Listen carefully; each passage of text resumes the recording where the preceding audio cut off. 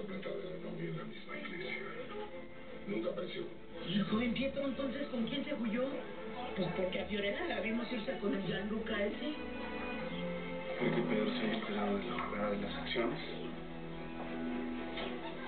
Tal vez por eso no llegó a la boda. Si se hubiera enterado, yo ya estaría en la cárcel y él estaría aquí. Doña Luisa, respóndame, el gobierno.